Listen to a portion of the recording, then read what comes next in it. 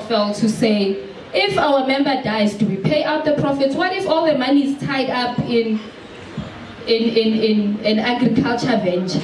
We don't have liquidity to pay this person. What do we do? Okay, so those are some of the things that would be in your constitution. What if there's conflict?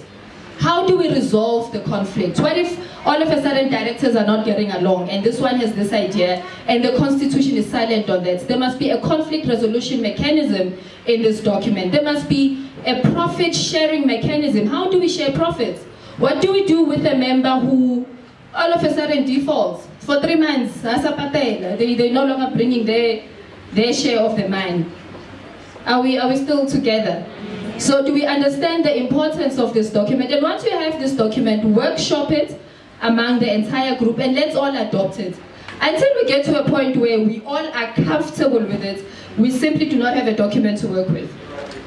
Basically, unless there's consensus, we will constantly have that one member who's on some, and like I never really agreed to this. so, pila pila fanduani, you know? So, workshop the document, get everyone's views, your meetings, your voting rights, all these things need to, it needs to be a very comprehensive document so that when that days come, guys, where there's money and people there'll be conflict somewhere along the way.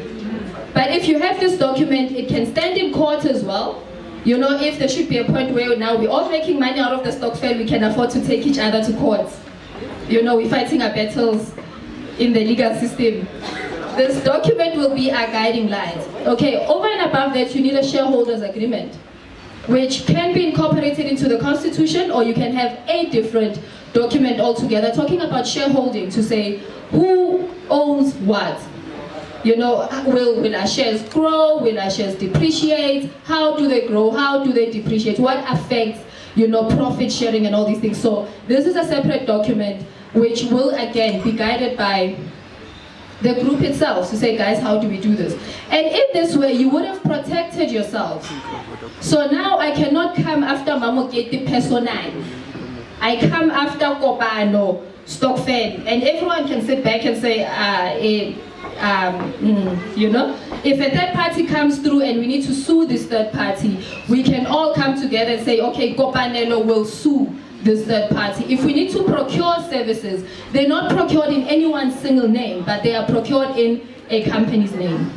Are we comfortable with this? Does it make sense? Who's in farming? Mtupi. What's the GDP of farming? I think Leon is less than 10%. Ne? Who can guess what's the GDP contribution of franchising? Just a wild guess. Okay? Nine? 20. Yeah, you are close. It's about 15.6%. Most businesses that are in franchising, from grocery stores, you, you find hotels, you find fuel stations. So you can see how big the industry is, how many people the industry is hiring. So the industry is huge. And it's not only food, because I, I meet a lot of people who think it's food. We've got healthcare, we've got education.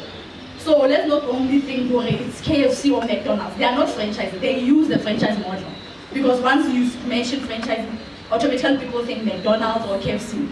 So my friends, I'm with the Debonairs, DS and Fishaways, which they're under the famous brand. They are with the Wimpy's and, and all, all that, um, and, and I can Bean brands.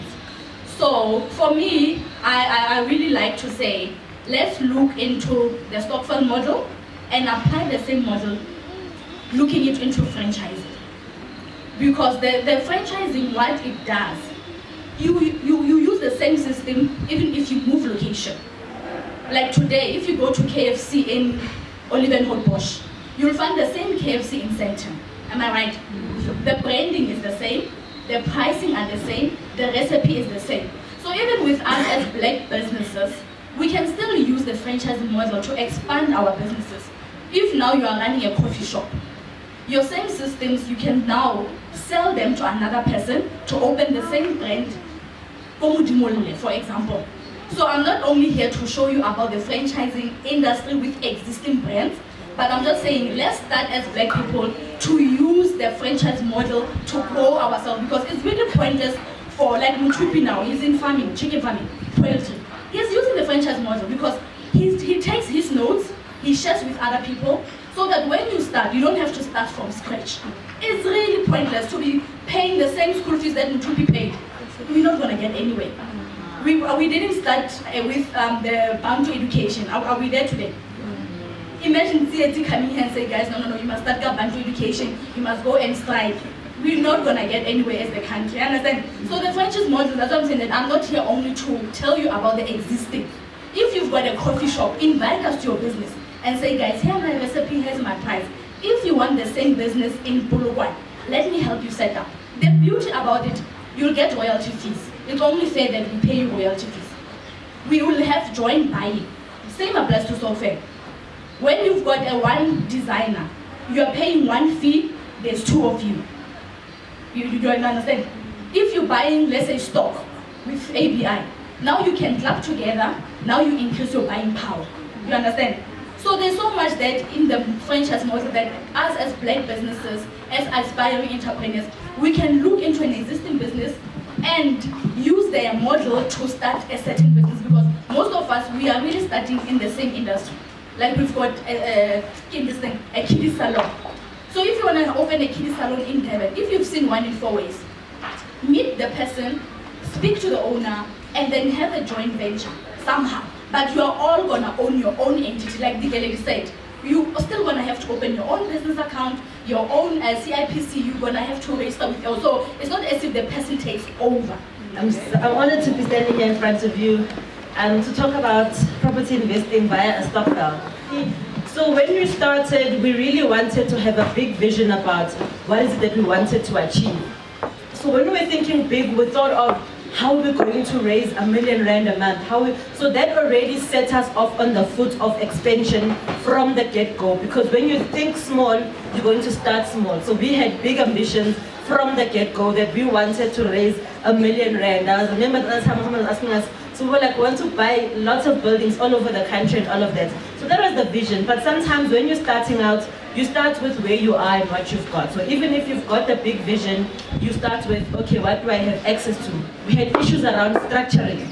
How do we structure this thing? You know, how do we do we do it as a trust? Do we do it as a company? Do we do this as well? So like, ah, you know what? For the meantime, to get started, we'll worry about that. But for the meantime, we're not gonna let our money sit in the bank and earn 3% in a savings account sorry Stokfela, no offense, we like Stokfela, we like one of the biggest clients, you know, and good interest, by the way, compared to what some of the other offerings are. But I Wanted to start working for us immediately. So we do what we call partnering with other investors. So you don't have to be the one who's out there finding deals, placing tenants, doing maintenance, if you don't have the skills yourself at that point in time. So you partner with people who can do that for you. So that is what it's all about. Um, one of the speakers spoke about partnering and doing joint ventures. So you can do joint ventures in Stokvel. If you feel that you, you want to do franchising but you don't know how to do it, you can partner with Tuspatabile and say, you know how to do this, we'll put in the cash and you run with it. Or someone who's in mining, you feel like, you know what how mining works, we'll put in the money and you do the work. So that is how we then started as a stokvel. So our stokvel has taken off like more than we could have ever imagined. I think we're now sitting on close to about 100 members at last count. Um, and we've raised well over 2 million rand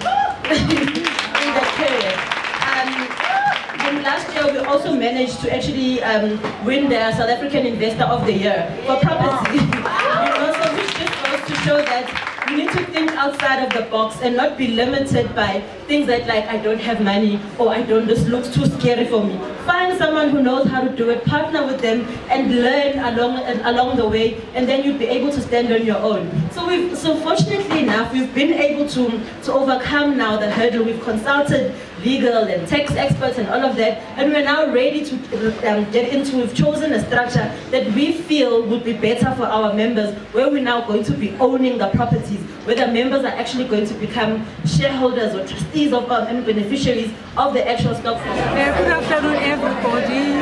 I'm Fukes Lungwana from Tembisa.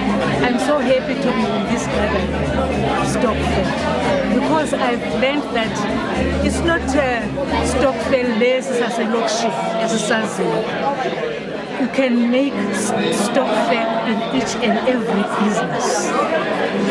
In mining, the failed. In farming, the stock failed. We've lot even about uh, law matters. So that uh, if you, you, you, you do um, uh, um, a company, a company, it must not just be registered only, it must have a constitution bound by the law. Cool. Uh, hi there, my name is Thabo Mofokeng. Uh, I represent a investment club converted into a company called Yandisa Capital Investments. Uh, today's session was great, good starting point for us people to talk about uh, the collective investments and the power of collective investments.